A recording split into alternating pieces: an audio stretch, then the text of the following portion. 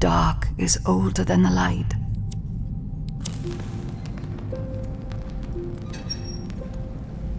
At last a day dawned, and we rose with this first light.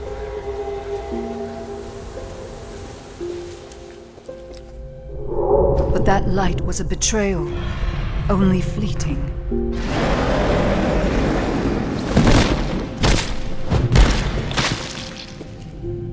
In its wake, the night returned to claim us.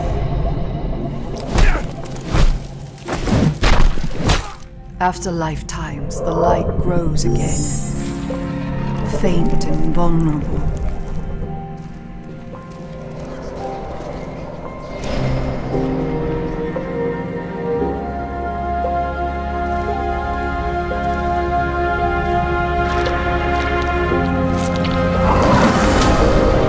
We will live in the new light rather than just survive in the dark.